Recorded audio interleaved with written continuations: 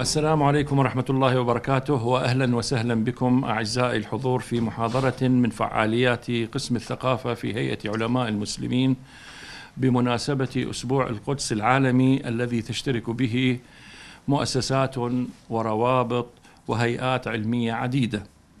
زمانه الأسبوع الأخير من شهر رجب آه، تزامنا مع ذكرى الإسراء والمعراج ودخول صلاح الدين الأيوبي القدس الشريف محررا بعد أسره لقرون. أما مكانه فممتد على مساحة الأرض التي يعيش عليها المسلمون. ولأننا في أيامنا هذه نعيش طغيان سيل جارف من قنوات التواصل ومنصات الأخبار والانتشار الواسع للمعلومة بأفهامها المختلفة المغلوطة منها والصحيحة. ارتأينا في قسم الثقافة أن نحتفل بأسبوع القدس العالمي بصورة مغايرة للمألوف في مثل هذه الاحتفالات التي تعتني كثيرا بالتاريخ والذكريات والقصائد وهي مهمة جدا في هذا الميدان. لكننا فضلنا أن يكون موضوع تصحيح الفكر وضبط البوصلة في فهم قضايا الأمة الكبرى هو محور محاضرتنا هذه. ضيفنا اليوم آه، أصولي التخصص والدرس مقاصدي التفكير والمنهج أكاديمي البحث والوجهة.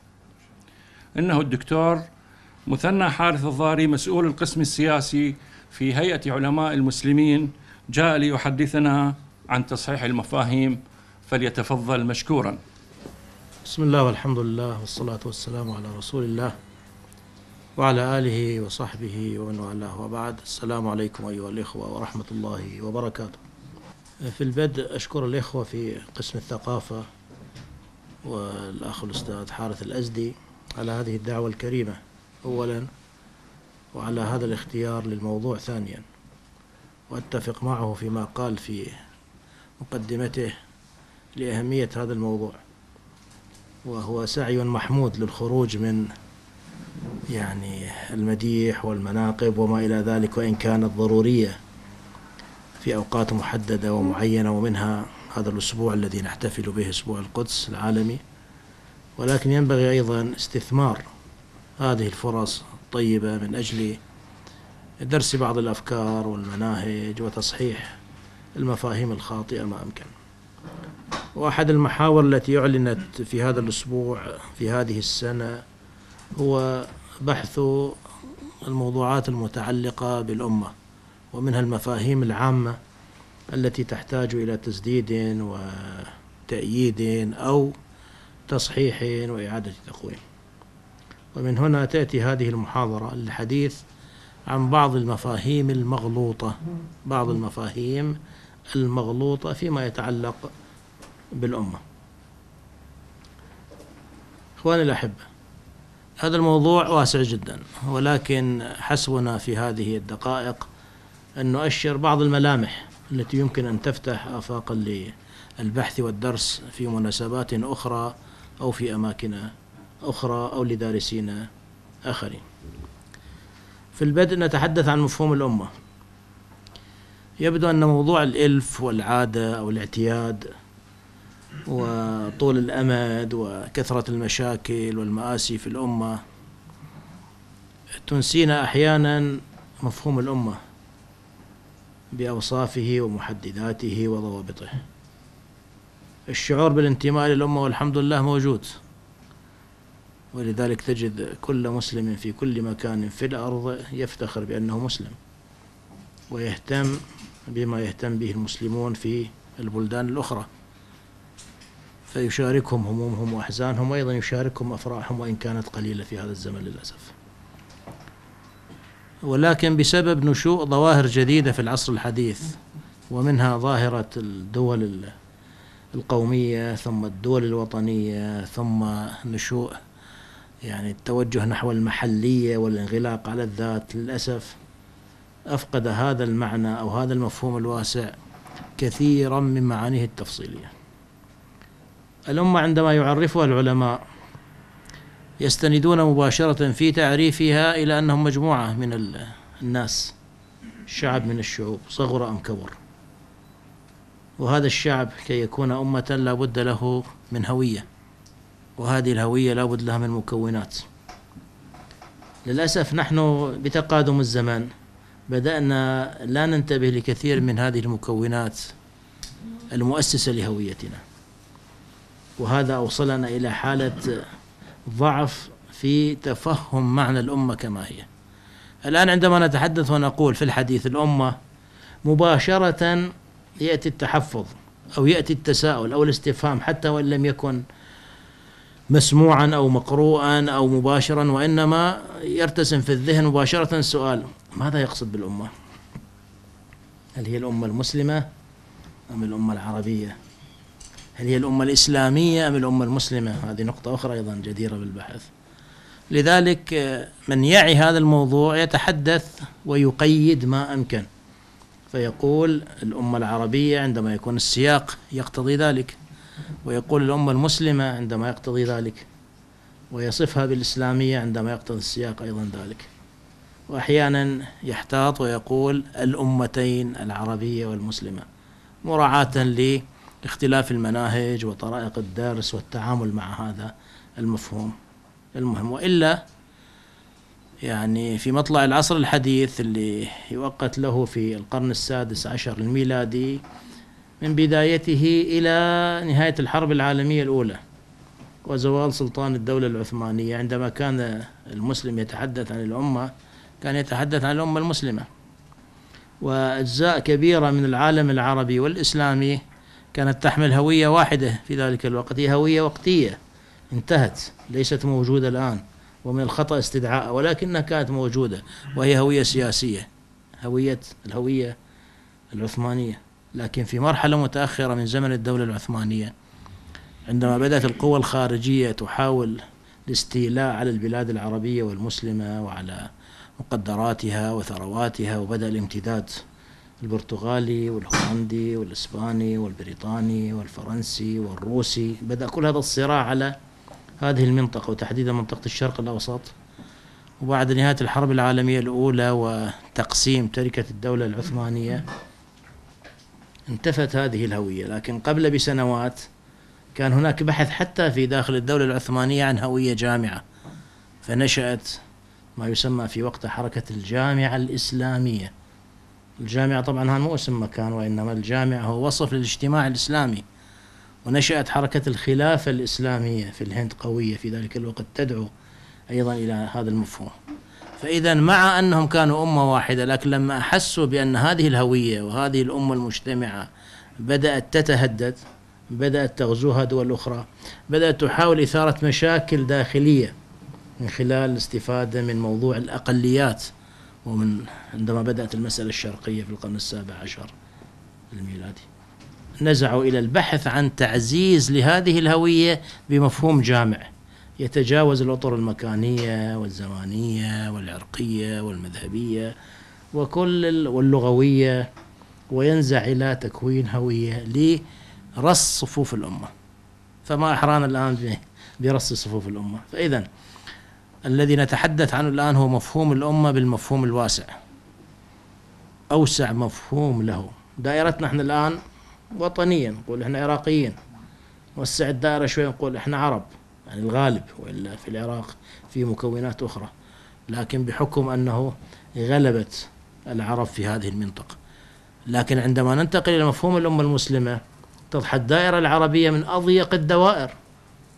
يعني على سبيل المثال دائرة شبه الجزيرة الهندية اللي فيها الهند المسلمين في الهند والمسلمين في باكستان والمسلمين في بنغلاديش والمسلمين في سريلانكا والمسلمين في الدول الأخرى القريبة منها.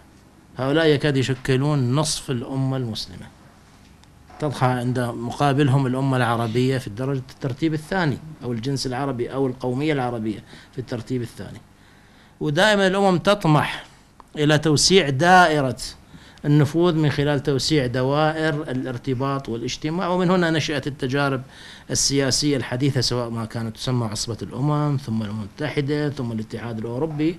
وأمامنا تجربة ماثلة الآن أن الاتحاد الأوروبي كله مجتمع مع عرق شرقي. العالم الغربي يجتمع مع عرق شرقي لمواجهة عرق شرقي وكلهم في إطار ما يسمى العرق الأوروبي أو العنصر الأوروبي. ولكن هناك جامعة جمعتهم وهي الاتحاد الأوروبي. بينما ننزع نحن إلى أمور أخرى. هذا الحديث طبعا مذكور ومكرور وتسمعونه بكثرة لكن أنا أريد أدلف منه إلى نقطة.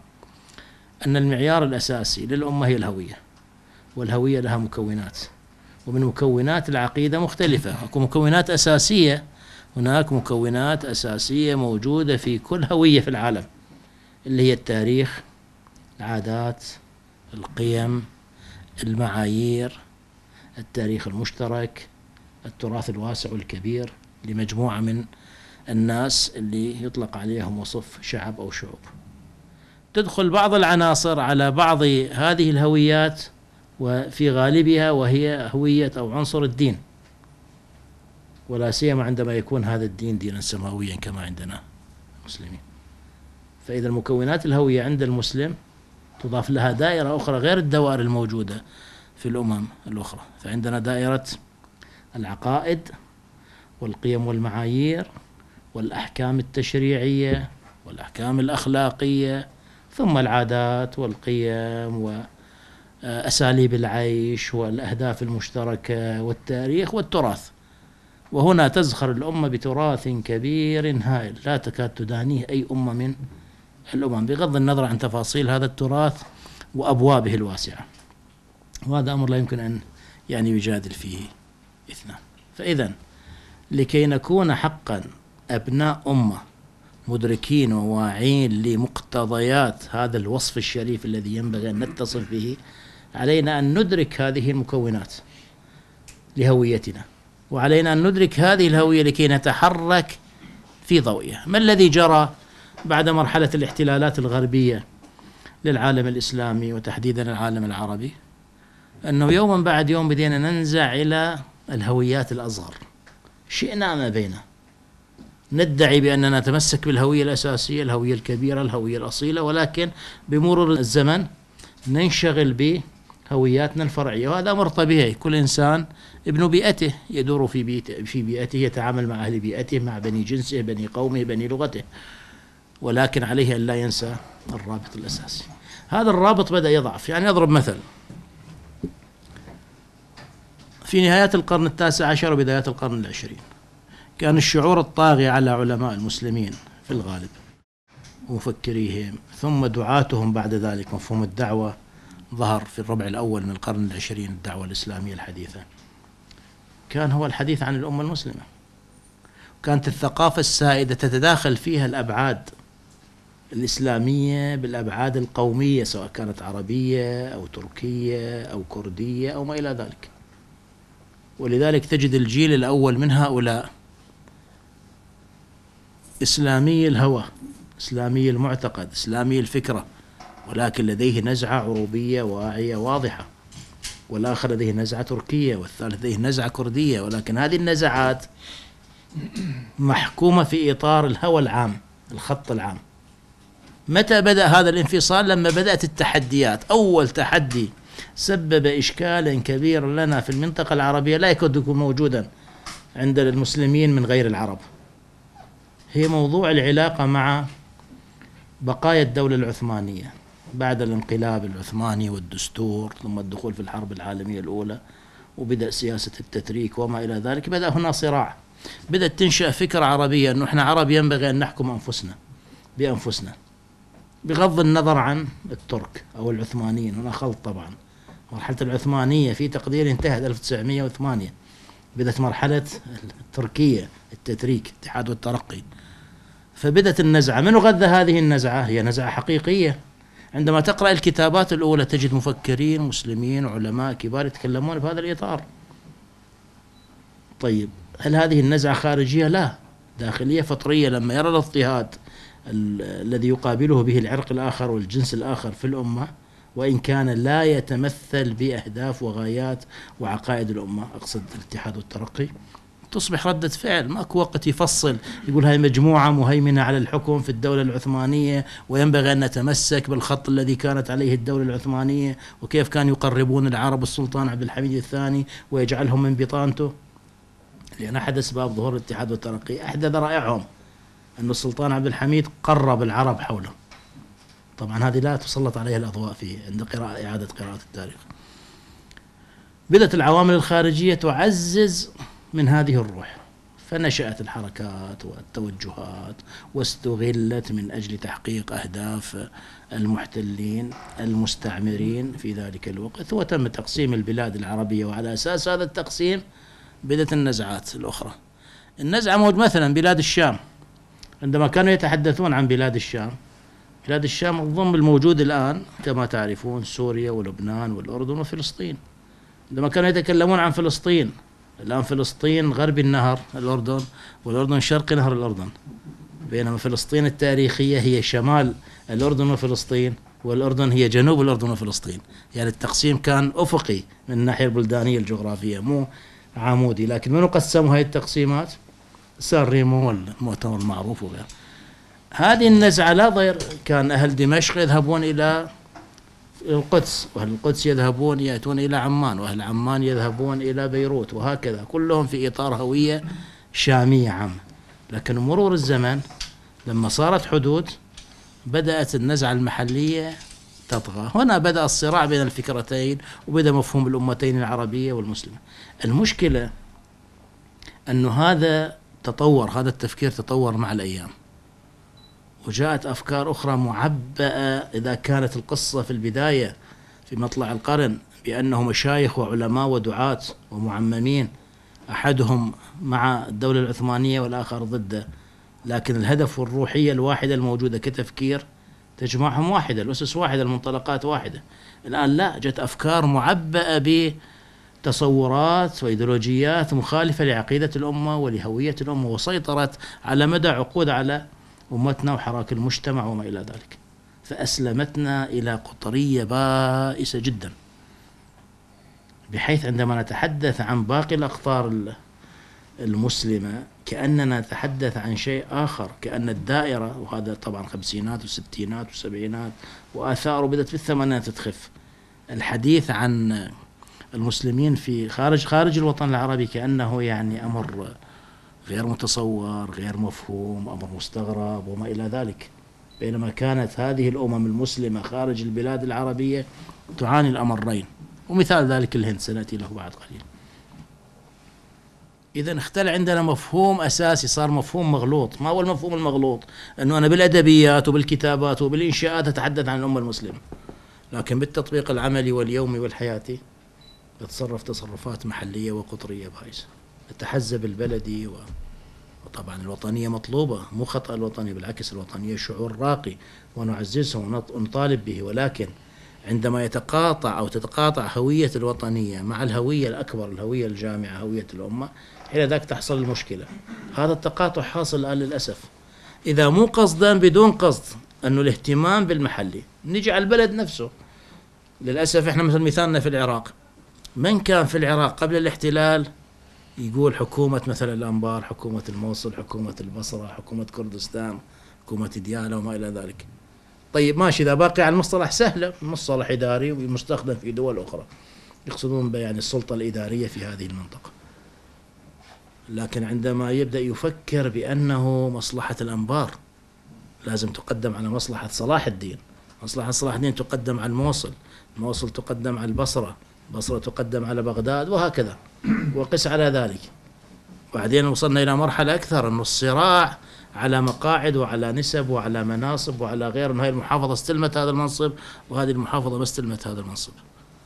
أنه هذه المحافظة استلمت كذا من الميزانية وهذه لم تستلم كذا من الميزان ماشي هذه في كل الدول نواب يناقشونها في مجلس النواب ينتهي الموضوع. أما أنه تسحب إلى الحياة العامة وتصير لها آثار مجتمعية خطيرة وهذا ما نشهده الآن في العراق وهذه مشكلة كبيرة. إذا حتى مفهوم المحلية والقطرية في خطر الآن الوطنية فما بالك بمفهوم الأمة؟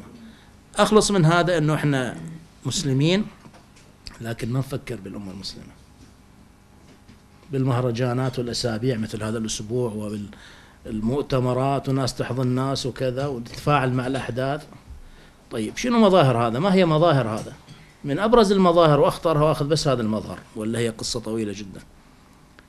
أنه بدينا ما نتفاعل مع آلام ومشاكل إخواننا خارج البلاد العربية. واخواننا في غير البلاد العربية كردة فعل بدأوا يفكرون أنه إخواننا العرب لا يهتمون بنا فلماذا نهتم بهم؟ يعني كانت قصة تصير في الهند أو في الصين أو في باكستان في مجاهل أفريقيا تقوم لها يعني الدنيا ولا تقعد. خطباء المنابر والمنتديات والوفود والكتابات حدث ولا حرج. يعني مثلا صحيفة البصائر الناطقة باسم جمعية العلماء المسلمين في الجزائر سنة 1934 تنشر مقال عن قضية فلسطين منقول من مجلة الشبان المسلمين اللي كانت تصدر بالبصرة للصحفي الرائد محمد الفتاح البياض لاحظوا صحيفة ال 34 إيش دل البصائر على الشبان المسلمين؟ لأنه كان تواصل. كان تواصل. قبل أيام في مساحة من المساحات تحدثنا عن مأساة الهند. ضربت مثل أنه بومباي كانت كأنها وراء البصرة. وين رايح لبومباي؟ منين جاي من بومباي؟ تجارة البوم. بل من الطرائف. الآن مو يقول لك والله إذا نسوي الأنبار أنا قبل أضرب مثال بالأنبار. يعني يمنون على الأنبار مو؟ والله راح نسوي الأنبار مثل دبي. قبل إيش كانوا يريدون العرب دول العراق ودول الخليج؟ يريدون بغداد تصير مثل بومباي. البصرة مثل بومباي. ليش؟ لأن بومباي كانت درة. ذلك الوقت ميناء مشهور ومعروف ومدينة كبيرة وفيها الم... بل كثير من العرب سكنوا فيها. وإلى الآن وإنشأوا فيها المطابع وغيرها. يطلع عالم من علماء بغداد يروح يسوي مطبعه بومباي يطبع كتب يصدر لبغداد. أما خطوط التجارة فحدث ولا حرج. لما تغير العالم وتغيرت خطوط النقل والطيران وغيره صارت بومباي كأنها يعني في أقصى الأرض. يعني تقول هسه واحد أروح لندن إي والله الله وياك. البومباي شو موديك البومباي بعيدة بينما هي أقرب؟ يروح لنيويورك عادي جدا لكن لما يقول أروح لجاكرتا مثلا أو كوالالمبور يبغى شو يوديك لأقصى الأرض؟ فبدت الصلات تضعف. لما سنة 1931 مؤتمر العام الإسلامي العام يعقد في القدس ويأتيه المسلمون من كل أنحاء الأرض من نيجيريا واوغندا يجون. من أمريكا الجنوبية يجون المسلمين ذاك الوقت وبالسفن الرحله تطول أشهر حتى يحضرون المؤتمر الاسلامي من أجل القدس. إحنا سوينا هذا الشيء بالعكس يعني ردينا هذا الجميل للآخرين. هو مو جميل واجب لكن خلينا نقول جميل من باب التساهل. اللي صار الآن بأنه فقدنا هذا الحس لذلك هسه مشكلة الهند ماذا ما يجري في الهند. متفاعلين معه اعلاميا لكن عمليا وين النشاطات العملية بشأن هذا الموضوع؟ وهل هي المشكلة في الهند مشكلة واحدة؟ الهند بيها ما يقرب من 200 مليون مسلم. هي ومسلمي بنغلاديش أكثر من الوطن العربي عوف باكستان واندونيسيا وماليزيا. فهذه إحدى النقاط اللي تخلي هناك مفهوم مغلوط في التعامل مع مفهوم الأمة وهو عدم الإحساس بإحساس الأمة عدم الشعور بشعور الأمة. ثم انقطاع التواصل مع أجزاء الأمة الأخرى وهذا يولد ماذا؟ مشاكل ويخلي العدو يستفرد بكل جزء على طريقته الخاصة. بل أحيانا يكون التفاعل مع قضايا لا صلة لها كبيرة لها صلة لكن ليست كبيرة. أكثر من التفاعل مع قضية الهند. الآن قضية الهند موجودة وقضية أوكرانيا وروسيا. التفاعل في البلاد العربية مع من أكثر؟ مع قضية روسيا وأوكرانيا أكثر. لا بأس حدث كبير ومهم وغيره. ولكن نتعاطف مع المظلوم نعم. ولكن قضية من الناحية السياسية والعسكرية والغير والإستراتيجية قد تكون فيها إيجابيات كبيرة لنا في هذا الظرف بغض النظر عن الأطراف المتصارعة فيها والنتائج. لكن عندي مشكلة قائمة في الهند ومشاكل أخرى في بلاد أخرى. طيب. هذا إذا حكينا على الهند أما إذا حكينا على تركستان فحدث ولا حرج. وهنا أضرب مثل سريع. تركستان الشرقية أقصد المسلمين الإيغور ومن معهم في في الصين. كانت آه، رواية آه، روايات آه، نجيب القيلاني. عمالقة الشمال في نيجيريا وعلى كاشغر وغيره بذاك الوقت نشر ثقافة كبيرة. لما؟ لأنه فعلا كانت ثقافة المجتمع المسلم في ذلك الحين في ذلك الوقت متفاعلة مع شعور الأمة العام بخلاف ما هو موجود الآن. نجي على الهند مثال سريع لمحة سريعة.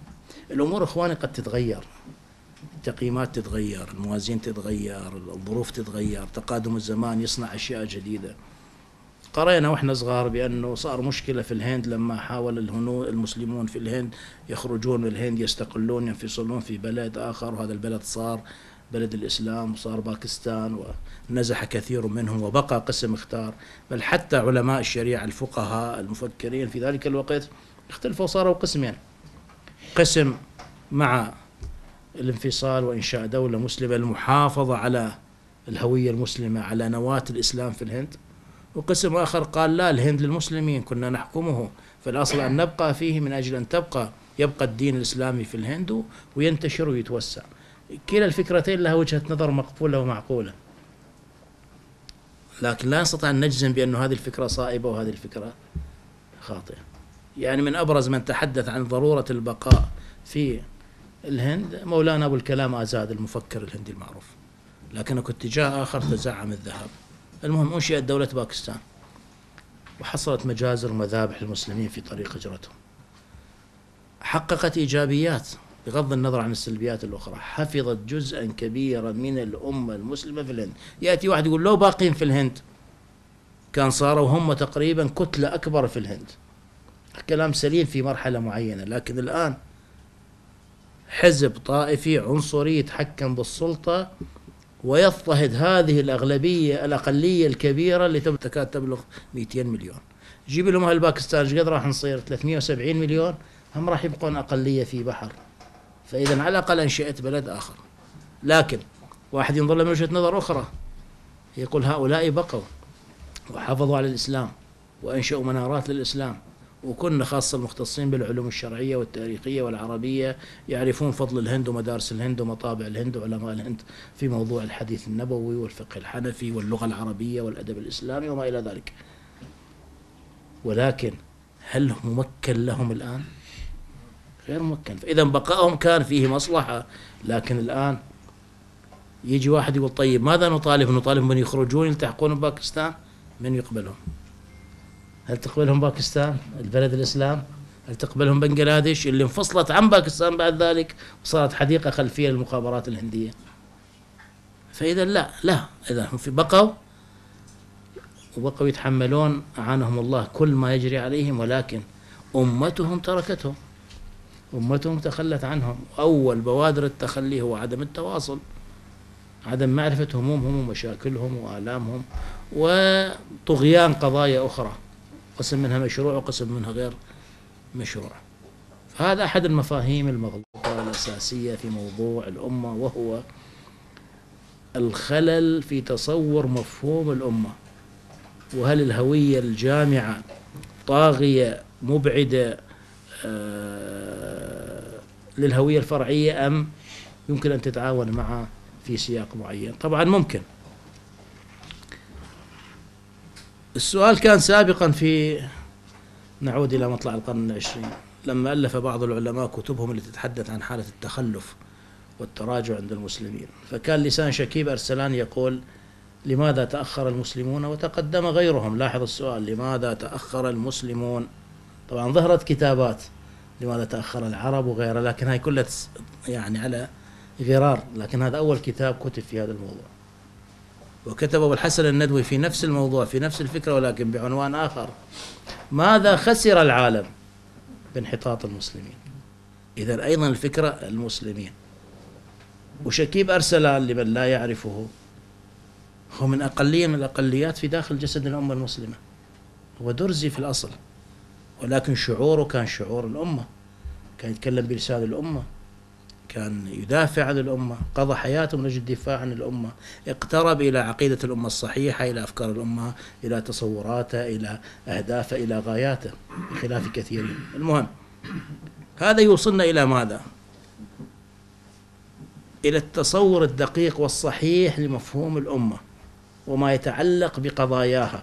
عندما نقول هذه القضية مركزية وهذه القضية غير مركزية. طبعا لا أحد يقول هذه القضية غير مركزية. لكن يقولون القضية المركزية أو القضايا المركزية يفهم منها أن القضايا الأخرى غير مركزية. هذا ممكن كان في زمن لكن الآن نعتقد وجهة نظري أن الوضع تغير واختلف. قضية فلسطين والمسجد الأقصى والقدس هي قضية مركزية للأمة على مدى عقود بل قضية القضايا في الأمة عندما لم تكن هناك إلا القضية الفلسطينية. لكن بعد ذلك نشأت قضايا كثيرة وهم كثيرة ومشاكل أخرى. لم تؤثر على قضية الأمة. الأمة رغم ما فيها من مصائب الهندي مقتول هسه أكثر النشاطات بأسبوع القدس العالمي. وين تلقاها؟ بالهند باكستان اندونيسيا ماليزيا أكثر من البلاد العربية. رغم أنهم في مصيبة في مصائب ولكنهم يجعلون قضية فلسطين هي القضية الأولى. ولكن إذا رجعنا إلى القواعد إلى التأصيل إلى الفهم الصحيح لمفهوم الأمة لا يضير القضية الفلسطينية أن لا تكون القضية المركزية للأمة. هي من القضايا المركزية في الأمة. لما؟ لأن القضايا المركزية القضايا المهمة القضايا الأهم. طيب القضايا الأهم شو يكون فيها؟ يكون فيها أبعاد إذا متداخلة. عقدية تشريعية أخلاقية مبدئية تاريخية عرقية استهداف عرق معين أو عنصر معين. فهي اجتمعت فيها جميع هذه الأشياء. فضلا عن ذلك لارتباطها بقدسية المسجد الأقصى ثالث الحرم. هذا يضفي عليها بعد عقدي يضفي عليها بعد يعني آه، تشريعي مهم وكبير جدا. لكن فلنتذكر الرسول صلى الله عليه وسلم ماذا قال عن الكعبة عندما أراد في مرة من المرات نوى أن يجدد الكعبة؟ ماذا قال؟ إيه. عهد بجاهلية إيه. آه. هدم الكعبة وبناها على أسس إبراهيم. وحديث آخر. من يذكره؟ أدق بعد من هذا في الاستدلال لما جعلت لا ليس في هذا المعنى. إيه. لزوال الكعبة إيه. من إيش؟ من قتل امرئ مسلم. اذا هذا المقدس الأول فلنسميه رغم أنا ما أحب أستخدم هذا المصطلح المقدس ولكن فلنقل الكعبة بيت الله الحرام قبلة المسلمين المسجد الحرام الأول الذي يفدى بالأرواح والمهج والقلوب والعقول وبكل شيء. الرسول صلى الله عليه وسلم عندما يجعله في مقابل إراقة دم امرئ مسلم يقول زواله أهون. لما؟ عوف البعد المعنوي لأنه هذه فيه بعد حسي وهو بناء يمكن أن يبنى من جديد. أما الإنسان ما يمكن أن يبنى من جديد خاصة وإن كان مظلوما خاصة وإن كان مسلما. طيب من هذا المنطلق الآن أكو استهداف للأرواح أترك الموارد والثروات وغيرها والأرض والمياه وال... لا هناك استهداف للأرواح. واستهداف ليس استهدافا عفويا جزئيا صغيرا وإنما استهداف واسع وشامل وكبير ومقصود لاستئصال بعد عقدي معين في كثير من بلادنا المسلمة. استهداف المسلم لأنه مسلم مو استهدافه لأنه آه، عرقه يعني غير عرق أبناء بلده الآخرين من غير المسلمين القضايا العرقية حتى بين غير المسلمين يعني مشاكل بينهم كبيرة. لكن استهدافه لأنه مسلم. بغض النظر عن حتى ولو كان يعني شريكا للمستهدف في العرق شريكا له في التاريخ شريكا له في اللغة شريكا له في العيش المشترك. وهذا ما يحصل في الهند الآن. موضوع الحجاب وقبله لا مشكلة قبل ثلاث سنوات نفس هذا الحزب قبل يصبح حزبا حاكما في الهند. قتل آلاف من المسلمين في إحدى الولايات وأيضا يعني الحملة قد تكون حملة الحجاب أكثر لاقت قبول أكثر أو سمع به الناس أكثر مما جرى قبل سنة. آلاف من المسلمين قتلوا في قضية مفتعلة. فإذا هذا يدفعنا إلى أنه نرجع إلى ماذا تقول الأصول الشرعية. ما هي النظرة المقاصدية الحاكمة لهذا الأمر؟ كيف نتعامل مع هذه القضايا؟ الواحد راح يقول والله راح نتعب إذا إيش نتفاعل مع جميع القضايا؟ نعم نتفاعل لكن كل قضية تتفاعل معها بالطريقة المناسبة للتفاعل معها بحسب إمكاناتك بحسب قدرتك بحسب تصورك. أحيانا لو تنوي فقط النية على أنك تهتم بمسألة مسائل المسلمين في العالم ولكن جهدك المادي الحسي توجهه لقضية واحدة بدون أن تنسى ديش تكون أديت فرضك أديت واجبك. فإذا أدى كل واحد واجبه بهالقصة هذه واجبه خلينا نقول العيني وهو الاهتمام بأمور المسلمين. بذاك الوقت راح الأمة تقوم بواجبة كله. بذاك الوقت راح تجي الواجبات الكفائية ويكفونك كثير من الناس بما يقومون من أعمال يرفعون عنك يعني أثر التكليف الشرعي. فإذا قضايانا تحكم ب فلنقل بمثال الدائرة أو الدوائر المتداخلة. خلي ثلاث دوائر. الدائرة المركزية الصغيرة أصغر واحدة العقيدة.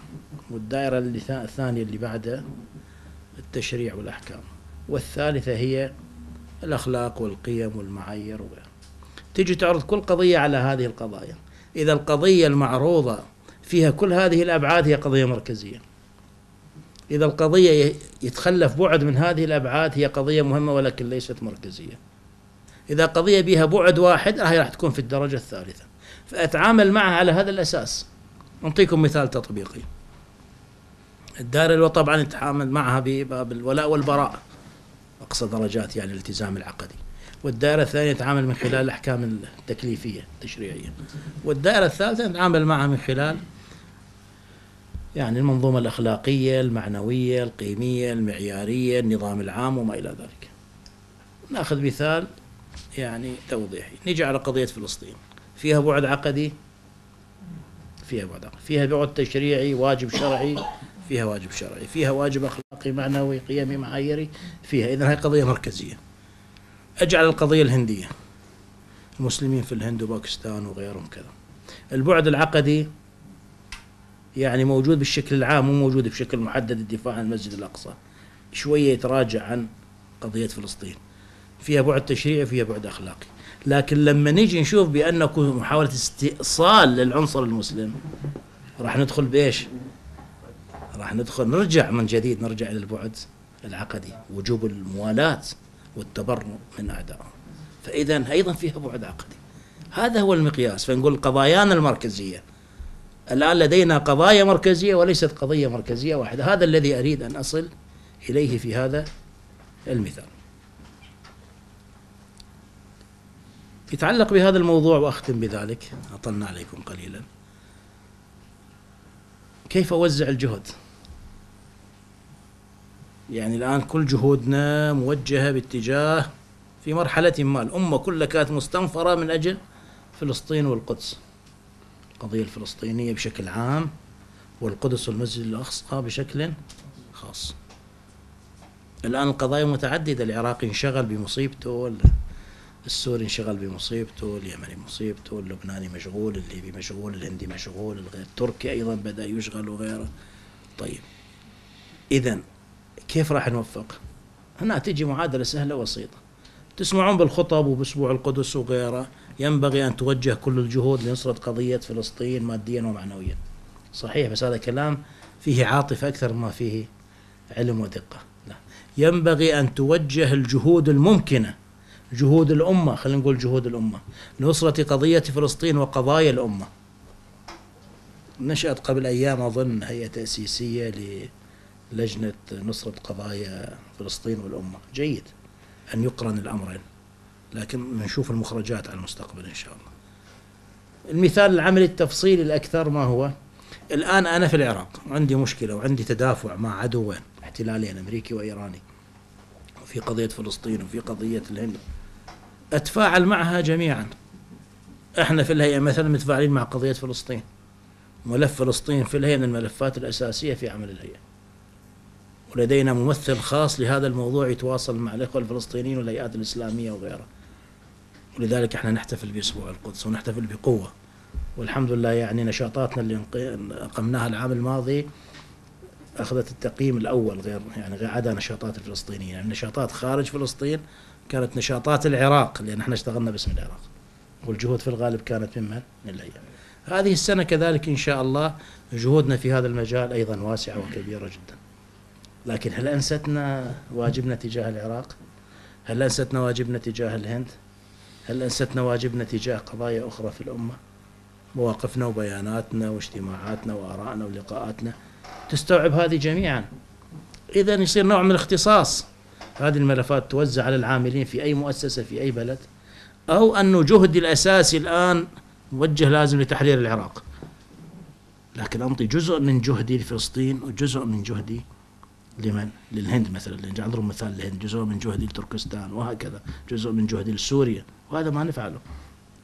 المطلوب إذا أن نعمم هذه الفكرة. أنه موضوع أنه كل الجهود تبذل للقضية الفلانية مو صحيح. إذا كان كلام معنوي عاطفي خرج هكذا عفويا نعم.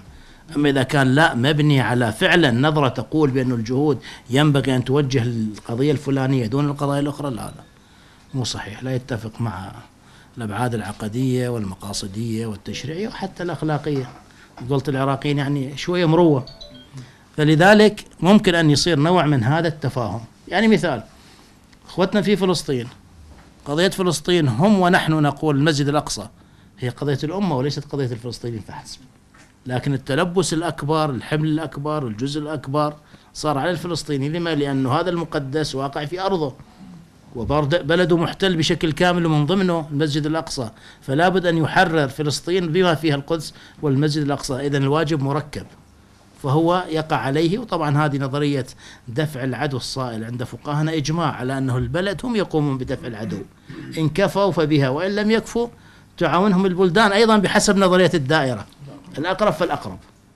إذا الفلسطيني أيضا مطالب بجهود في قضايا الأمة الأخرى.